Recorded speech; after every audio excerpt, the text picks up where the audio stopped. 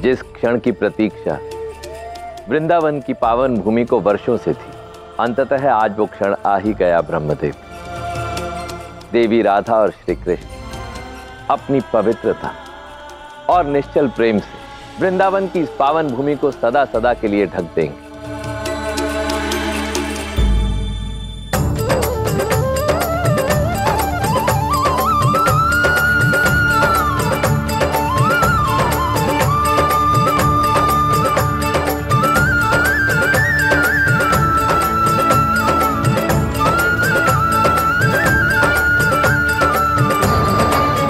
राधा का एक अनुरोध है।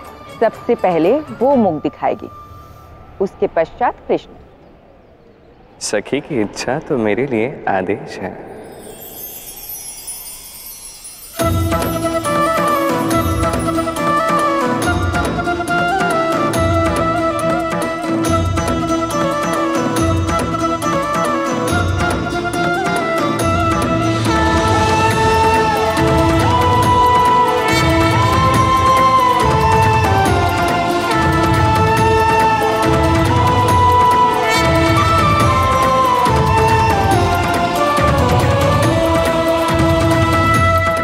तुम्हारी बारी है, कृष्ण। दिखाओ अपना मुख।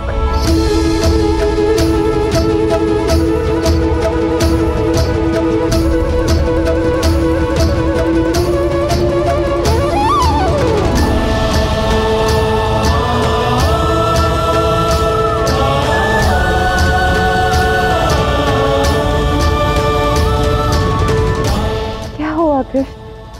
तुमने नेत्र क्यों बंद कर लिए? अपनी होने वाली वधु को नहीं देखोगे? नहीं, बस। तुम्हें इस रूप में देखने के लिए स्वयं को सज्ज कर रहा हूँ।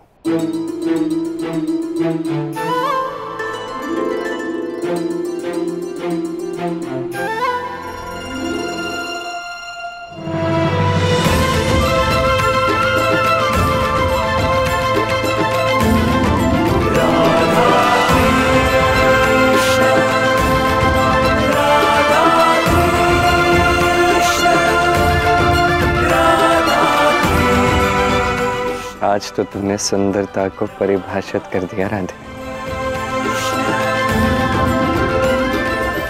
तुम जानती हो मैंने अपने नेत्र बंद क्यों किए थे? नहीं तो? जब पहली बार तुम गोलोक को छोड़कर यहाँ पधारी थे तब तुमने मुझे एक वचन दिया था।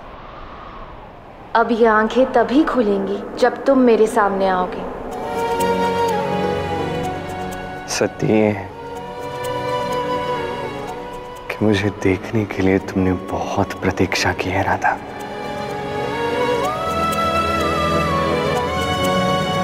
इन कुछ क्षणों में,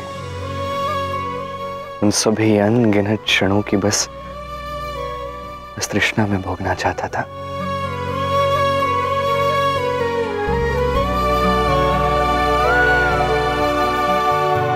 कदाचित यहाँ सभी उसी क्षण की प्रतीक्षा कर रहे हैं कि विवाह में सबसे सुंदर कौन दिख रहा है? मैं या तुम? तो मैं सभी की अटकलों को समाप्त कर उस निर्णय की घोषणा करती हूँ, कृष्ण, कि सबसे सुंदर तुम हो, कृष्ण।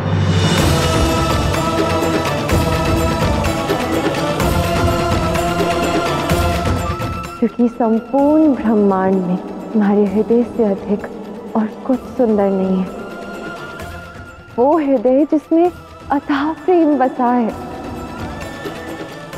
तुम सुंदर हो क्योंकि तुम्हारे जैसा प्रेम संसार में कोई नहीं कर सकता। तुम्हारे इस निश्चल प्रेम को पाने के लिए मैं संसार में अपना सब कुछ हारने को सज्ज हूँ।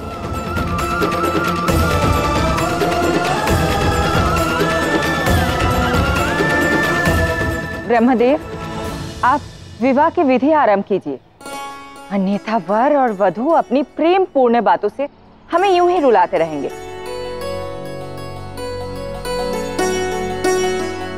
चलिए। विवाह आरंभ करते हैं।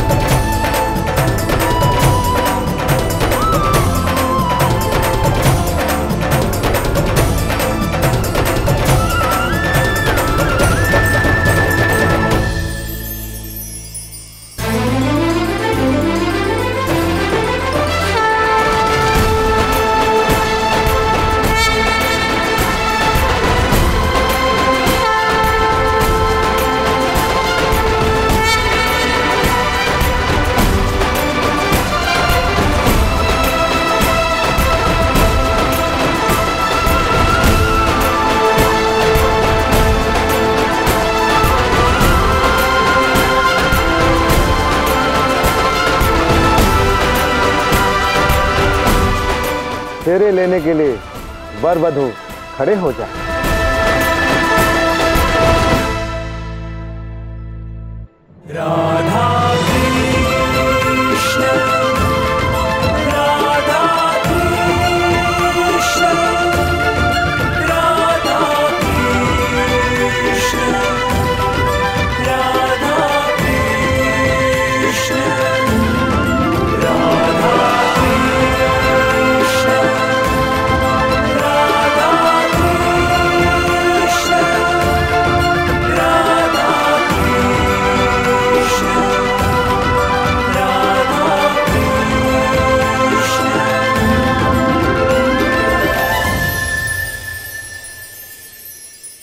देवी राधा और श्री कृष्ण का यह पावन और दिव्य विवाह संपन्न हुआ।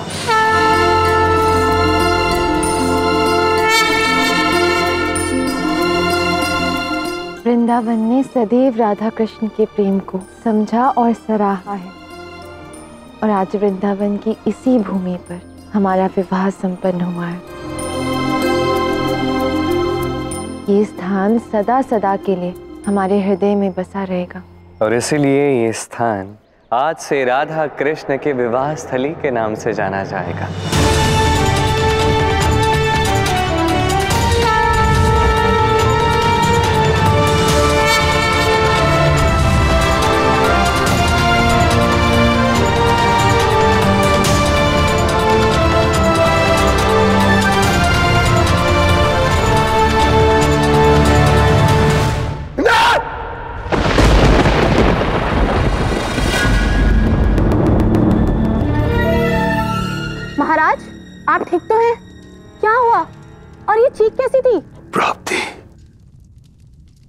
मुझे आभास हो रहा है कि वो कृष्ण बहुत बड़ा करने वाला है।